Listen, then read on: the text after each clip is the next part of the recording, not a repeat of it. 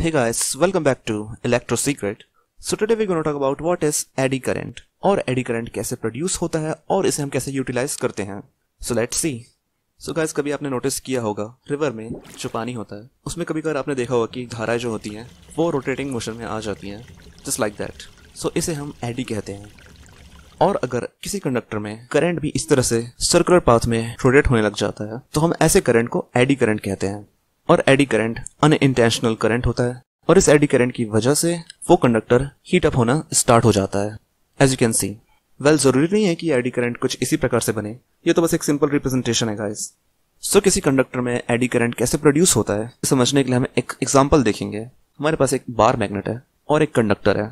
एक simple conductor जो कि किसी सर्किट से कनेक्टेड नहीं है। सो क्या जैसा कि हम जानते हैं from the Faraday's laws of electromagnetic induction से, अगर हम इस बार मैग्नेट को इस कंडक्टर के पास लाएँगे तो सिर्फ़ बार मैग्नेट को कंडक्टर के पास लाने से, उस कंडक्टर में ईएमएफ e इंड्यूस नहीं होगा अनलेस हम जब तक इस बार मैग्नेट को बैक एंड फोर्थ पुश और पुल करेंगे, इस कंडक्टर के पास लाके तो इस कंडक्टर में ईएमएफ e इंड्यूस होगा। अगर इस मैग्नेट को हम इस कंडक्टर के पास लाके रोटेट करेंगे तो भी इस कंडक्टर में ईएमएफ e इंड्यूस होगा।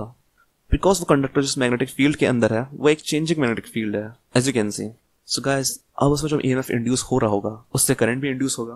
But just because a conductor किसी सर्किट से कनेक्टेड नहीं है, एक सिंपल कंडक्टर है सो so जो करंट इसमें इंड्यूस होगा, उससे फ्लो होने के लिए कोई अदर पाथ नहीं है। सो so इस कंडक्टर के अंदर ही फ्लो होगा, और इस कंडक्टर के अंदर ही वो करंट सर्कुलेट होता रहेगा, और यही सर्कुलेटिंग करंट ही हमारा एडी करंट है। और इसी एडी करंट की वजह से हमारा कंडक्टर हीट अप होना स्टार्ट हो जाएगा। सो so गाइस हमें इस बात का बहुत ध्यान रखना है कि जहाँ कहीं भी चेंजिंग मैग्नेटिक फ़ील्ड होगी, सिर्फ़ वहीं पे एडी करंट प्रोड्यूस होगा। अगर मैग्नेटिक फ़ील्ड स्टेशनरी रहती है तो वहाँ पे एडी करंट प्रोड्यूस नहीं होगा such as in case of DC supply वहाँ पे एडी करंट नहीं होगा। There's one thing keep in mind guys हमारे बार मैग्नेट की जो मैग्नेटिक फ़ील्ड है, उसकी इंटेंसिटी इतनी ज़्यादा नहीं है कि हमारे कंडक्टर में इतना एडी करंट फ्लो कि वो उसको हीट अप कर सके। That's just a simple representation ताकि आपको ये चीज़ बेटर समझ में आए। And there's one more thing कि एडी करंट का डायरेक्शन क्या होना चाहिए। सो so गाइस इसे समझने के लिए हमें एक और एग्जांपल देखते हैं। सो so हम वही बार मैग्नेट लेंगे। एज यू कैन सी इस मैग्नेट की फ़ील्ड लाइंस इस मैग्नेट से किस तरह से बाहर आ रही हैं? बट हमें एनपोल से बाहर आने वाली स्ट्रेट फ़ील्ड लाइंस पे ध्यान देना है। इसलिए हम इसको थोड़ा सा और सिंपल कर देते हैं। और इस बार हम एक ऐसा कंडक्टर लेंगे, जिसका क्रॉस सेक्शनल एरिया ज़्यादा बड़ा हो। और उसे हम इस बार मैग्नेट के एनपोल के सामने प्लेस करेंगे। अब हम उस कंडक्टर को एनपोल की तरफ़ धीरे धीरे पुश करते जाएँगे। सो so ऐसा करने से वो कंडक्टर चेंजिंग मैग्नेटिक फ़ील्ड को एक्सपीरियंस करेगा, जिस वजह से उस कंडक्टर में एडी करंट प्रोड्यूस होगा, जिसकी वजह से वो कंडक्टर भी हीट अप होना स्टार्ट हो जाएगा, और जैसे ही हम उस कंडक्टर को पुश करना बंद कर देंगे, वैसे ही एडी करंट भी खत्म हो जाएगा। और फिर से अगर हम कंडक्टर को पीछे की तरफ़ पुल करेंगे तो फिर से इस कंडक्टर में एडी करंट प्रोड्यूस होगा as you can see so guys eddy current तो प्रोड्यूस होगा बट उसका डायरेक्शन क्या था, इसे समझने के लिए हम लेंजेस लॉ को देखेंगे।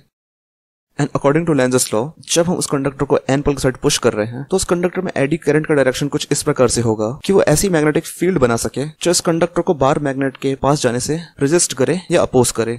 और गाइस हम राइट हैंड रूल से जानते हैं कि अगर एडी करंट का डायरेक्शन एंटी क्लॉकवाइज होगा, तभी एक ऐसी मैग्नेटिक फ़ील्ड बनेगी जिसका फ्रंट साइड एन पोल बने। और उस बार मैग्नेट के एन पोल के पास जाने से इस कंडक्टर को रेजिस्ट करे। और जैसे ही हम उस कंडक्टर को बार मैग्नेट से दूर ले जाने की कोशिश करेंगे तो फिर एडी करंट जो बनेगा, उसका डायरेक्शन क्लॉकवाइज होगा और वो क्लॉकवाइज डायरेक्शन में रोटेट करेगा। उस एडी करंट की वजह से यहाँ पे एस पोल क्रिएट होगा, जो बार मैग्नेट के एन पोल को अपनी तरफ़ अट्रैक्ट करेगा और कंडक्टर को बार मैग्नेट से दूर जाने से रोकेगा। And this is the nature guys and I hope guys कि आपको एडी करंट का कॉन्सेप्ट समझ में आ गया होगा वेल एडी करंट की वजह से जहाँ पे एनर्जी डिसिपेट हो जाती है हीट के फॉर्म में जिसे हम एडी करंट लॉस कहते हैं सो हम इस एडी करंट लॉस को यूटिलाइज भी कर सकते हैं such as in the case of induction cooker.